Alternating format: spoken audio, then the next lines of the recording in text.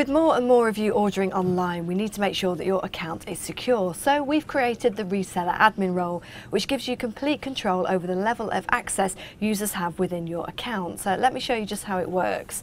Once you've logged in, if you go to InTouch and then down to your company, you can see it pulls up all of your account users.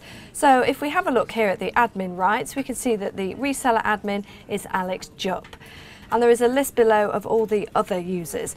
So you can tell exactly what rights each user has. Looking down here, you can see that Aaron does order tracking, Abigail does order tracking and exact quantity, etc, etc. So if you'd like to add another right to one of the users, you can do. So I'm looking here at Abby and I think I'd quite like to add order submit to Abby's access. So all I need to do is go across the little pencil at the end. From here you can see what accesses Abby has already. She has access to licensing online and order tracking, but I'd like to add order submit. So all I do is click on the order submit button here.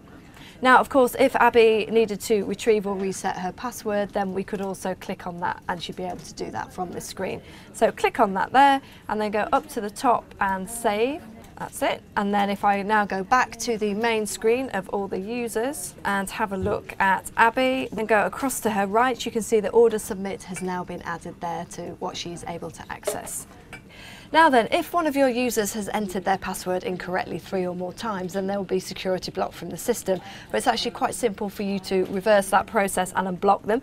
So looking down here, you don't need to scroll through the whole list to see exactly who it is. Just go at the top here to the information and you can see that you have one security blocked user. So if I just click onto that, and that shows me that Jay Allen is actually blocked out at the moment. So to unblock Jay, I just need to go to the little pencil again, and that brings up Joe's page and all of his accesses. So if you just click retrieve password and unblock, then this will send an email to Joe so he can reset his password.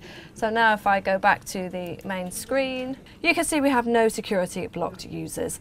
So if you have any further questions or want any advice on how to use the system, then don't hesitate to contact the InTouch help desk.